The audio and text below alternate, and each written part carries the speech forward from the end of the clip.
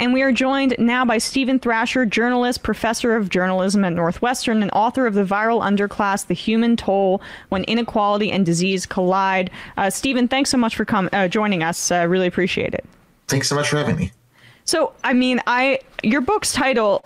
I, it borrows the viral underclass. It borrows from a phrase, and you write this uh, used by AIDS activist uh, Sean Strub. And you know, I know much of your work has focused on the on HIV criminalization and stigma, and that is a very um, prominent through line throughout your book.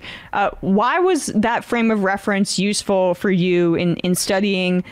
Uh, pandemics, sickness in general, the COVID nineteen pandemic as well, and then like as a conduit into uh, the your work, the the viral underclass here.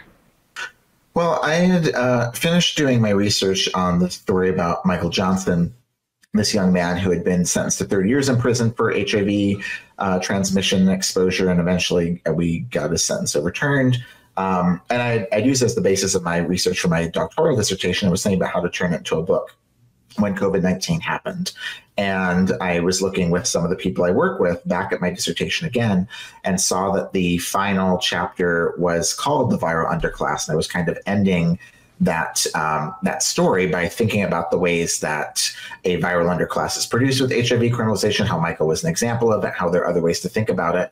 Uh, and it was actually my, my book editor who said, you know, why don't you step back and think about this was March of 2020 uh, how that might be a framework to think about COVID 19. And so that was kind of the starting point that I used to think about the pandemic to understand why it is a viral underclass that is produced um, between different pandemics. And I could see that with COVID 19 when I just started turning to the particularities of that virus, which is an extremely different virus from HIV in almost every imaginable way. They behave differently, they act differently, they, they just have very, very different characteristics. But the first people dying of it in those first months were in the sort of maps and the same zones of people I've written about affected by HIV and AIDS. Uh, geographically, politically, demographically, there were lots of similarities. And so I wanted to understand why is it that the same kinds of human beings will end up in the pathways and affected by these extremely different viruses. And once I sort of had that analytic, it gave me a better way to understand how these health disparities come about with HIV or AIDS, hepatitis, monkeypox, um, coronavirus for for many of the pandemics that we go through. I mean, and I, I don't say this lightly, but and I believe you say this in your book, but this is such a useful lens that you can, I think, put it up there with Naomi Klein's shock doctrine as a way to view these broad uh, uh, societal kind of upheavals and look at a lens particularly through that. Was a, that a part of your inspiration? It was. I mean, very, very, much so. And I was so incredibly touched when I eventually asked uh, Naomi to blur my book, and she did. But um, her her analysis has been so helpful for me for for many years in my own understanding of the world as a leftist and an academic and a scholar.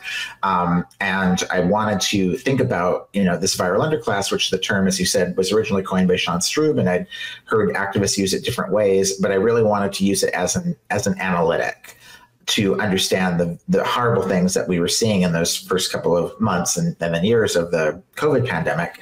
And then, unfortunately, this last summer with the monkeypox outbreak, I saw almost all the same things playing out. Uh, again, fortunately, the mortality with that virus is much, much, much lower. But the ways that it played out, the missteps, you know, how it came to be, why queer people of color ended up uh, so affected by it. So many of the things worth, I could see them through that same analytic, uh, as you can see with different pandemics across time. So, um, let's you mentioned the story of Michael Johnson, which is another major theme in your book tell his story a little bit because, um, you know, as you write, viruses kind of uh, both show cracks and widen cracks in society, and uh, the cracks were were.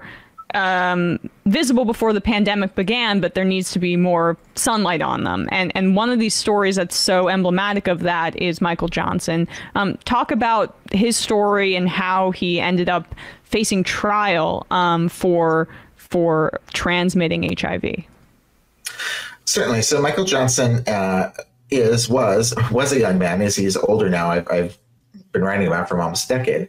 Uh, but he was in his young 20s when he was a college student at a university called Lindenwood University in Missouri. And he was arrested and accused of uh, transmitting HIV to two people and exposing um, three. Eventually, charges were, well, four men against him.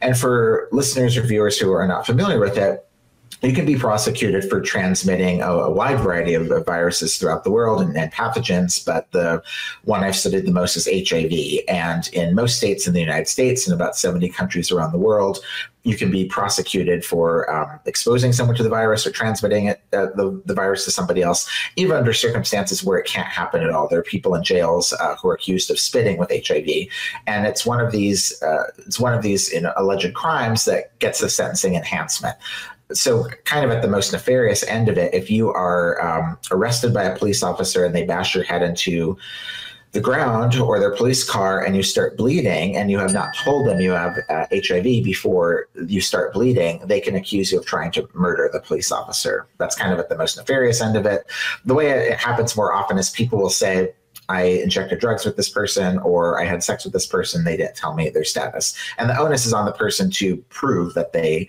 uh, that they did tell it. And these are not good from a public health standpoint because we want people to feel safe and able to disclose their status and know that they'll be taken care of. And so when these high profile cases like Michael's happen, it makes it much more likely that people won't get tested because you can't be prosecuted if you can't be tested. So Michael was a young uh, college student and wrestler he was extremely talented as a wrestler. Like too many uh, athletes, he had gone through college not really being able to read or write very well. And he was very popular on his campus with with uh, with athletics with students until it came out that he had HIV, and he was accused of uh, exposing, uh, transmitting it to two men and exposing it to several others. And when I first heard about the case, I didn't know much about this topic or about him. The the news about it had just been prosecutors' press releases as, as if he was some kind of global menace to people people who might get HIV. But when I met him, it, it was a very, very different story. He was um, an extremely uh, interesting and kind young man. He has always maintained that he told his partners his status and he really became known to me was a scapegoat for all this anxiety that people have around HIV and AIDS. Uh, one thing that happened over the, the many years of, of, reporting about him was that the CDC came out with a statistic that one in every two Black gay men in the United States were projected to become infected with HIV in their lifetime. And that's a good way to understand. I think that we can't think of viruses as, as individual as individual people negotiating individual risk. If one out of every two people are going to become affected by something, something is deeply wrong in the society with a lack of collective protection to stop mitigation of these kinds of viruses. But Michael was sort of a perfect scapegoat of saying we're just going to put all of our anxiety onto him, especially since one of his screen names that he used in in Grindr and social media was Tiger Mandingo, and that word Mandingo just like brings up all this anxiety from U.S. racial history. So he eventually got sentenced um, to 30 years in prison. Um, and he was facing you know, not coming out until he was almost 60 years old. Uh, fortunately, supporters of his used my reporting and um, and used other information to mount an appeal, and his conviction was eventually overturned, uh, and he got out after about six years in prison. But he still lost most of his 20s. He was in prison from 22 till he was almost 29 years old, um, and so that was kind of the way that I started to think about and understand that you know people who are black, who are queer who are who have learning disabilities, um, you know, who are athletes who get used for their bodies to generate money and then discarded by the university when they seemingly become a problem. These are all the things that that create what a viral underclass is. And my kind of aha moment in that was that his story happened uh, in a county just west of St. Louis, outside of St. Louis. But then when I got sent back there to report for The Guardian about the killing of Michael Brown, another young black man named Michael, uh, I worked with the same HIV people I'd worked with before and asked them what to look for when I arrived in Ferguson. And they told me they had been in the Canfield Green apartment complex recently there had been new infections and Ferguson had this higher rate of HIV and AIDS. And so I started seeing that the same dynamics, black poverty, uh, you know, concentrations of police violence could could be a map to where the HIV virus was. And that when you looked at places that had these social factors, HIV was more likely to be there. And when you also understood where HIV was in the country, you were much more likely to also see economic violence, racial violence, police violence happening to the same people.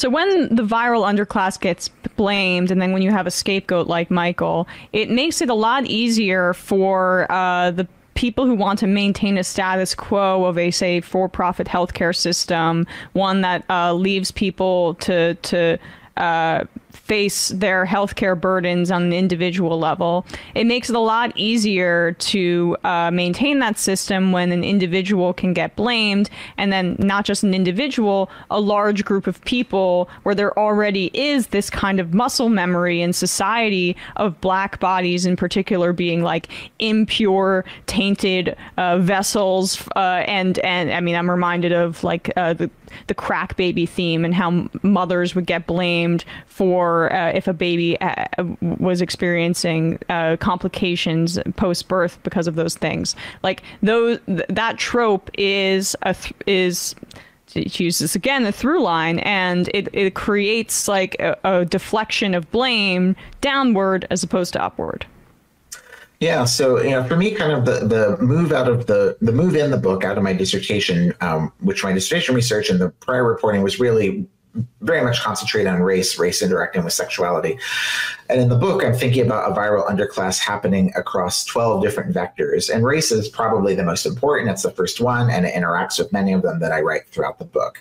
But there are multiple ways it can happen. And it does, as you're talking about, intersect with these sort of racial tropes and this muscle memory that we have about the racialization of disease, you know, Dorothy Roberts' work and, and the ways that we imagine a racialization and criminalization happening you know the same way in the United States. Um, so, for example, like you said, with the with the quote unquote crack baby theme, that's something that we think of in a racialized way. We think in a racialized way about uh, drug addiction as well. And so, it's interesting, I think, that we can look back historically and see moments where uh, drug addiction and news media and politics really focused entirely around race or almost entirely around race, particularly with crack.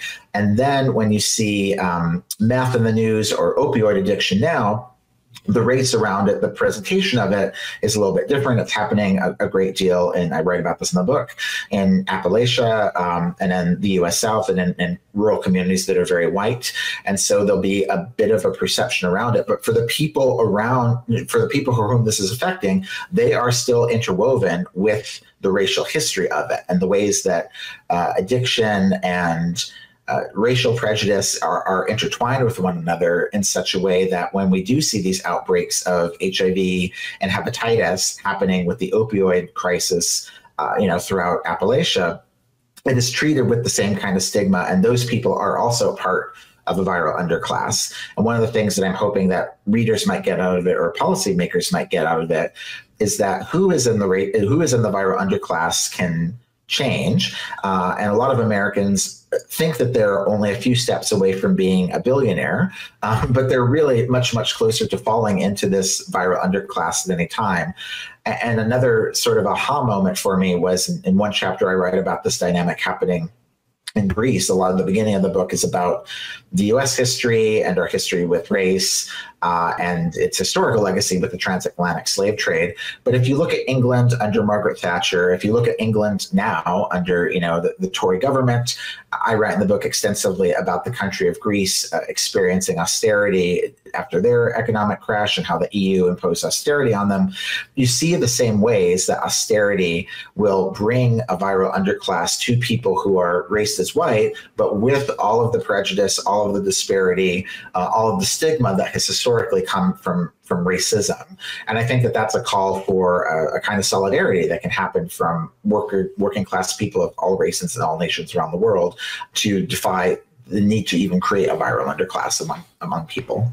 I mean, and and you write about this too. Uh, how this is essentially a lot of this muscle memory too. It's not doesn't just go back to like the '80s with the example that I use or the '70s, but I mean it's rooted in colonialism and race essentialism from that, which is like there was disease that spread during that time period through travel from different continents, and and black bodies also bore the brunt of that as well. Yeah. So when we look at in the past couple of millennia of human history, um, the slave ship is one of the biggest vectors of disease in, in modern or modern human history, human history of the, the last couple of, of millennia. Uh, and one of the things I'm trying to do in the book is really think about the vectors that move viruses as structures and as spaces, not as individuals, which contemporary news media so much will do. But the movement of um, enslaved people from Africa to the Americas to uh, unearth raw goods to then send them to Europe to be made into manufactured goods and created into capital, which then were used to buy more humans and to create this triangle that was happening around the Atlantic. That process was one of the biggest vectors we've ever seen. The ship itself, people only 20% of people would survive. I'm sorry, about 20% of the people would perish on the ship itself. And then, you know, unknown number would die of pathogens in Jamaica, Brazil, what became the United States after they arrived. And so that process itself was probably uh, you know one of the most potent ways of moving pathogens. But historically, when we look across all kinds of colonialism, it is one of the engines of how pathogens move. When we were moving and neo neo um, uh, you know the neo form of it as well. When we were uh, looking at uh, where does HIV come from? You can really trace it to European colonists moving into the Congo and pushing what were called African porters deeper and deeper into the jungle, where eventually they're they're uh, cutting bushmeat for meat and trying to survive. And it's probably in the process of butchering animals in that process that HIV moved into human beings. And it happens, you know, quite similarly now as climate change moves more living beings onto a smaller part of the globe. Human beings are uh, coming into contact with animals more and more often, and more zoonotic jumps are going to happen.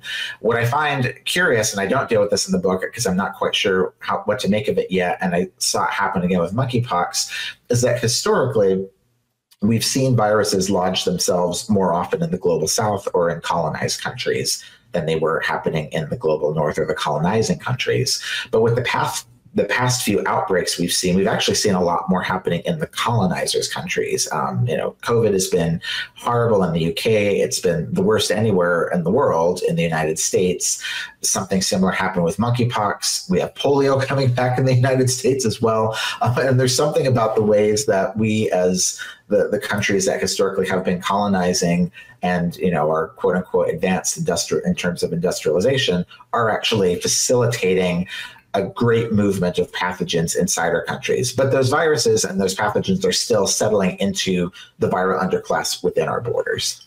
Yeah, well, it, it's almost like uh, kind of the the dark and twisted consequence of globalization, which is like built on the back of, of like a colonial skeleton, right? So, I mean that that kind of it it's it's unfortunate, but uh, in, in, the end, it's just like chickens coming home to roost to a degree. I mean, but of course, in the United, then the people, the viral underclass within those countries, bear the brunt. And you mentioned monkeypox a few times, so I wanted to talk a bit about it because I was disturbed to see a lot of the language being used that was contributing to stigmatization of LGBTQ uh, uh, or gay men in particular in this country that it's it's like it's like that there's whole swaths of this country who decide to forget about how stigmatized the gay community was during the HIV AIDS pandemic and I still feel like we don't reckon with it enough. And there was just callous throwing around a very similar language and uh, stigmatizing talk that was used during that period when discussing monkeypox. And thankfully, it's not as deadly as other viruses, as you say. But what was your, uh, I guess, perspective on seeing some of history, or at least historical language, repeat itself within that context?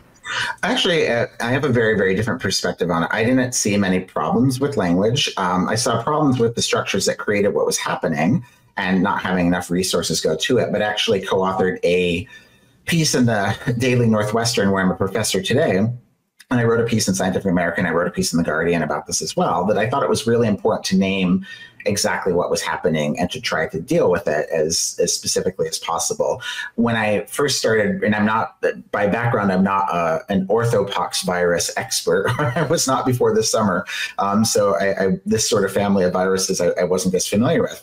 But when I first started reading that 98 to 90, 95 to 98% of the cases were happening among men who had sex with men, it seemed pretty clear to me that the mode of transmission must be sexual in some way. That's the only thing that we have in common. And, and yet the language often was sort of saying it could be anyone, it could be any kind of close contact, which didn't make sense. It, it, and still, you know, six months later, it's it's not moving significantly outside of this community. Um, about 2% of the cases have been amongst women and children, and the rest have been among men. Um, and indeed, one thing I think that's an important lesson from viruses is to have a sense of humility and to understand that they change and to keep studying them to see what they're doing. And there was a significant mutation. Monkeypox had been studied for seven decades, but about five years ago, something happened to it um, in a way that seemed to, to change how it was moving. And so the symptoms around this version of it were not this outbreak of large lesions on hands and faces, back and feet from before, from close contact, but happening uh, on the genitals and, and inside the anus, um, mostly of gay men. And so something different was happening. And I thought that it was really important to name that, to understand that, to put the vaccination efforts towards that. And I think a lot of well meaning people did not want to even say that that was happening because they were afraid of stigma. But something also, uh, something else happens that I thought was equally dangerous, which there's a vacuum of information and people were scared to be next to gay people or scared, you know, might be scared to, to room with them or be in classes with them on a college campus. So I thought it was really important to name like, this is how we see it's moving. It's happening. It seems to be moving through particular actions. I think there needs to be more research about them and one of the reasons, just to give you an example of why I think it's it's good to focus on actions, is that if this is moving through uh, unprotected anal intercourse, that could be something that's also a mode how it's moving into women. And so we need to understand exactly what that is, so that you know women who engage in that activity, men, uh, people of transgender people, people of all gender uh, all gender identities, understand the action that could be what is causing it. Um, and I've been, I was very frustrated with the Biden administration at the beginning of this because they had a purchase order on 300,000 vaccines. They took a cheap wait and see uh, approach. And a number of us have been calling before Pride about the need to, to get ahead of this and vaccinate and then too often, I think the U.S. will say, if something bad didn't happen, it was a waste of money. They don't do this, you know. You notice with terrorism or whatnot, they'll, they'll yeah. spend endless money to say we're going to stave off a terrorist attack. Um, but when we're all saying like Pride Month is, you know, in April and May, Pride Month is coming up. Like let's make Pride Month vaxathon around this thing everywhere in the country. Um, and they did not take us up on that. And so like the organizations and the people were sort of ready to do it. We just didn't have the vaccines. And the federal government finally got on it in July and August, and now we're going to need, you know, 10 million um, when we could have maybe snuffed it out much sooner. Um, I was surprisingly, uh, I was, I was surprisingly happy with a lot of the press coverage I saw, but there was not enough of it early on, and it is a challenge, and it's like it's a very, very difficult thing to you know to talk openly sort of about what's happening when there's still so much shame about gay sex and trans life. And when we have these horrible bills passing around the country, making it illegal for trans youth to get care or trans adults to get care, and making it illegal to teach young people how to protect their bodies. Um, so I think that the you know we have to be very careful about the language we're using, but we can't shy away from what's actually happening. And the problem, which is not an easy one to solve, is that we still live in a very homophobic and transphobic society. And undoing that you know is going to to take time and work. Diseases are going to come and go and we're going to have to deal with them with them in this environment. Um, but we really have to undo the, the underlying transphobia and homophobia. And that unfortunately feels like it's very much going in the wrong direction in the united states certainly in uh, you know many of these red uh, Repu- not only these red republican states but also from the point of the federal government which is not being proactive enough, even though it's controlled by Democrats.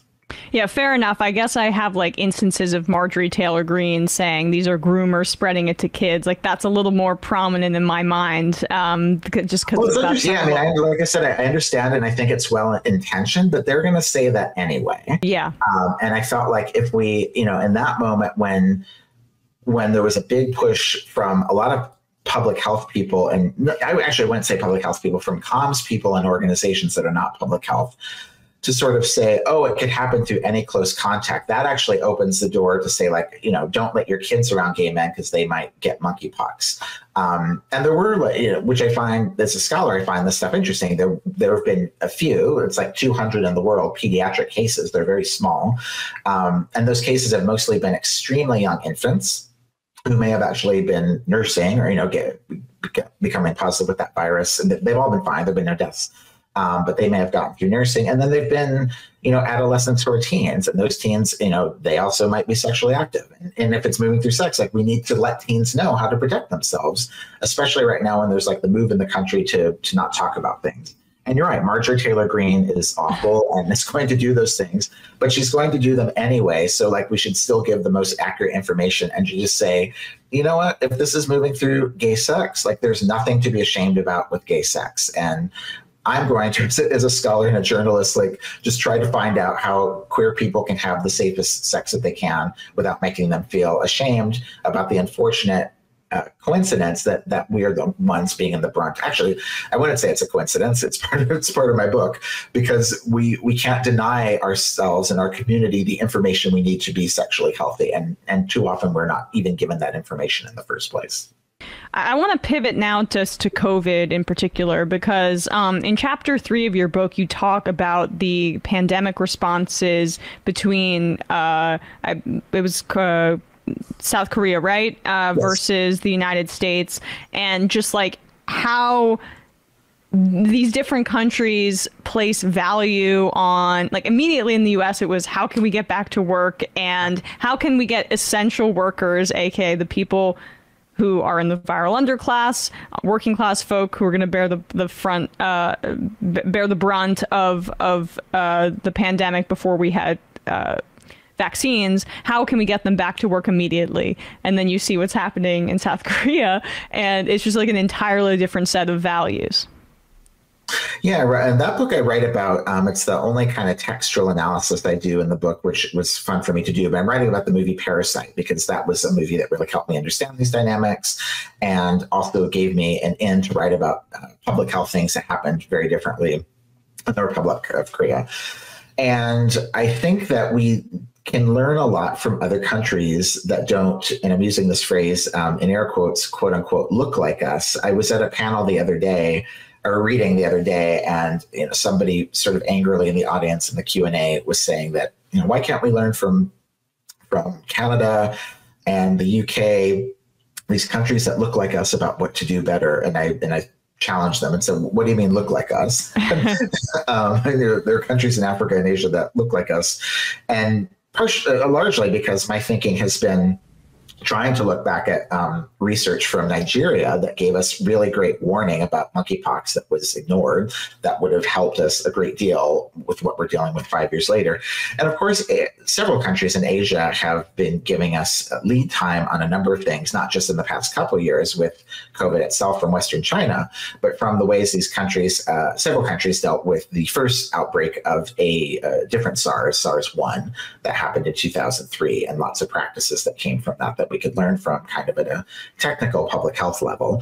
But with um, when I'm writing about South Korea as well in the book, I'm thinking about the relationship that populations have with their their public health sectors and with their government. And they're very different. The US, we are generally distrustful of the government and certainly of, of public health interactions. Um, something else I found really interesting while researching the book that a predictor of how countries would do with COVID was not how big the country was or small it was or how rich or poor it was. It was what percent of the money that they did spend went to preventative care versus emergency care.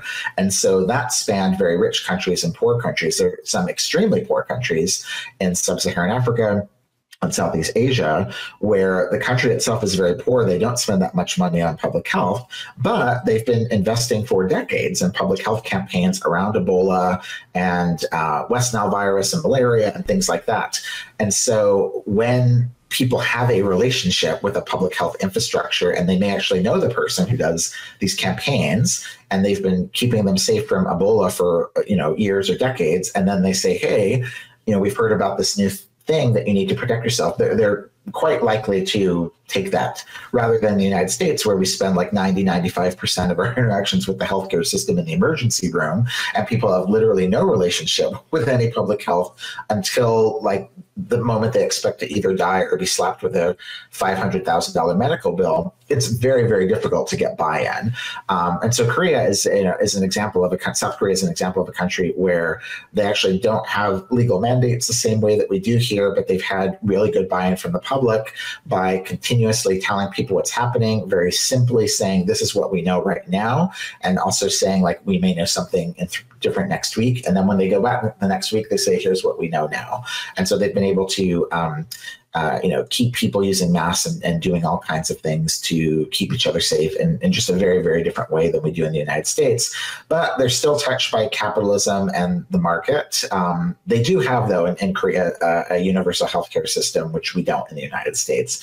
And that's also a really big factor in countries is whether or not people have an, have an easy infrastructure to get the medication and treatments they need and knowing that they're not going to be economically bombed if they take advantage of, of medical care and and I mean, I I I also find it fascinating that the emphasis in the U.S. here is so often on like the uh, supply chain issues, the economic problems as a result of COVID, and then when uh, lockdowns are discussed in the media here um, about like what's going on internationally, it's authoritarian as opposed yeah. to the simple ma- uh, data, the scientific medical data on deaths and infections and hospitalizations as a metric for beating COVID. And I think all of these, uh, the the intersections of how we not just view like our frontline communities and but our how we interact with our healthcare system, as you say,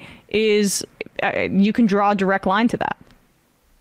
Yeah, it's you know in the US, we get a lot of media about how draconian China is and how authoritarian it is. And of course, China's had some very strict lockdowns, but those lockdowns have been pretty targeted. I mean, you know, in, in Beijing and Shanghai, and of course in Wuhan, where the first outbreak happened. And you know, you look across the past few years, 95% of the population has been moving relatively you know freely without without issues compared to us being in this constant you know semi state of terror and death. Um, and even and even within that not feeling extremely free to you know quote unquote go back to the before times which we shouldn't. You know we, we've learned new things. Something i've been thinking a lot about the last week or so because of a, a conversation thread i've been a part of on twitter um, was uh, a public health colleague asking why it was that the film industry in the united states seemed to be the only one that still had really good COVID protections. And it, if I don't know if you're familiar with it all, if any of your viewers are, but I, I have a lot of friends who work in the film business, and they still really mean business. You know that they uh, it's extremely test oriented. Everybody's being tested every day, uh, certainly while shooting, and and several times a week leading into shooting projects. Um, there's extreme monitoring. There's isolation, and it's because I think there's an acknowledgement in that business that they they they cannot they cannot swap out their labor once they start shooting a project. Um, and that to me highlights the ways that US industry thinks that jobs are essential, but the workers are not. You know, mm. the job the job needs to be done. If the worker gets sick and dies, then they just replace them with another one. Then they complain they can't find any workers, you know, but but as if they they didn't have a role in stopping the workers from getting sick in the first place. Uh, you know, in the film business, they see crew people as expendable as well, but even they have to acknowledge the reality that those crew people are interacting as biological beings around the talent. And they cannot afford not only for you know tom cruise or whatever tom hanks movie stars to get sick um, anyone once they're on camera they can't just swap out the actor. And so they've instituted this way of protecting all of their labor um, so that you know, it's not altruistic that they're doing it still to to generate capital but it's really revealing to me that because of the particularities of their business they're doing something that all business should be doing. All, all businesses should not want their workers to die and they shouldn't just be thinking they can swap them in and out. And it's also probably not generating um, more money for them to continuously be looking at labor in other industries. But still, much of U.S. business is just seems to just have their head in the sand right now. I, I was on a flight the other day and they were like saying the, the captain who had seen was not wearing a mask before he went into the cockpit and you know, was saying oh we're going to be delayed because of staffing issues in the air you know in the traffic control tower well like why do we have so many staffing issues right now um, this is the reason why and and i am i am quite worried having seen how poorly businesses have done how many governments are trying to move these decisions back to their businesses. New York City, I just saw uh, the mayor Eric Adams said he wants COVID decisions just to be made by by employers that they will know best what's what's best. Um, and like anything else in terms of worker safety, I don't think it's good to let employers just decide what safety level should be. What do you say to the folks who uh, we were hearing a lot about? We should have just done herd immunity. We should have done what Sweden did. Um, uh, but uh, they they uh, th- th- that hasn't aged particularly well. No, Sweden. I mean, Sweden has gone through several different rounds of things. Uh, they also had an, an extremely, uh, you know, ghoulish uh, policy around their el- their elderly. That that's even worse than the United States, I would say. Um, and herd immunity w- was never going to work as a concept in general. But we also specifically know right now this is not a virus that you get once and then have lifelong immunity. You know, you can get sick multiple times from it. So herd immunity or the idea that enough of the population is going to be vaccinated and sick at any time to protect itself, that's going to last for a, a, few months at most. Um, and having people get sick with this thing that's had so many bad effects as pretty bad mortality, but also has unknown long term consequences, not only with long COVID, but just unknown, sort of what, what's going to happen later, um, brings into relief the way that the US is mostly given up on on pathogen um, mitigation as part of as, as, part of our pandemic response. And with anything influenza uh, chickenpox you know monkeypox any sort of disease that you're dealing with part of an important thing to do is to keep people from getting it in the first place. And that's largely been given up on. And to some ways, I just I, I find it confounding. I, I understand the sinister reasons why a local government might spend COVID money on police, as Biden suggested they do. But in a self-interested way, I, I don't understand why you know these air purifiers are not being put in every room just to keep fewer people from getting sick and to keep workers from getting sick. Um, except to understand it through the lens of when CDC Director Rochelle Walensky said masks are the scarlet letter of this pandemic. No one wants to think about it.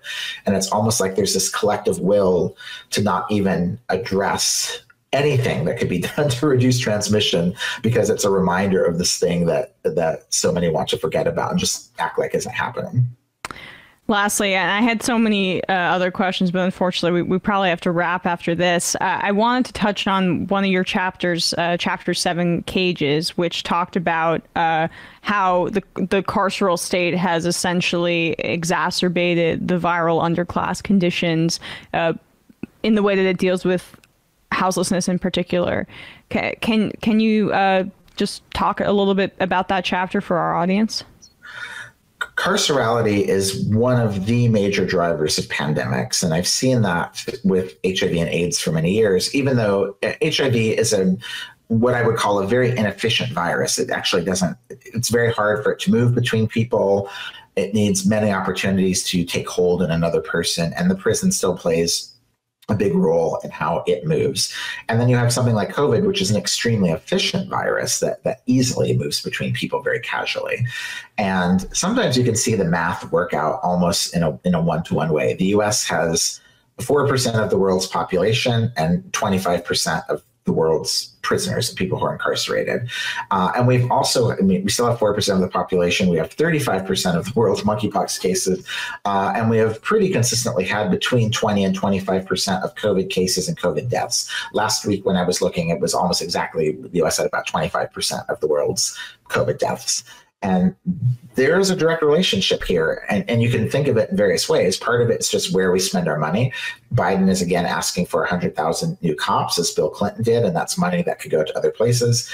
The amount of police resources that went to the city of, of Minneapolis towards cops um, are a reason why I think George Floyd lost his job from COVID and did not end up, you know, with safe housing and food and things he needed, uh, but ended up in a lethal encounter with a police officer. Some of that just has to do with where the money is going. Some of it goes to direct transmission itself. COVID is very much just being moved in prisons and jails. And I would say actually local jails are a bigger engine here than even prisons because the US keeps, you know, moves hundreds of thousands of people every week into jails and they're there for a few days. And then if they can bond out, they go home and then more come in and more go home. And so it's this direct engine of, of literally just moving the virus between human beings in these cages and then sending them back into their communities back and forth.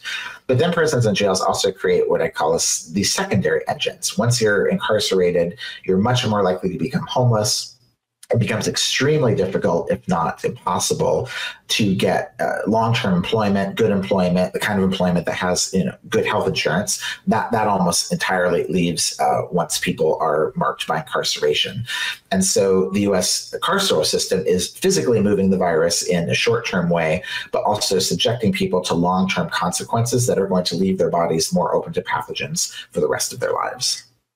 Well, uh, Steven Thrasher, I couldn't recommend uh, his book more highly enough. The Viral Underclass, The Human Toll When Inequality and Disease Collide. Um, thanks so much for your time today, Steven. Really appreciate it.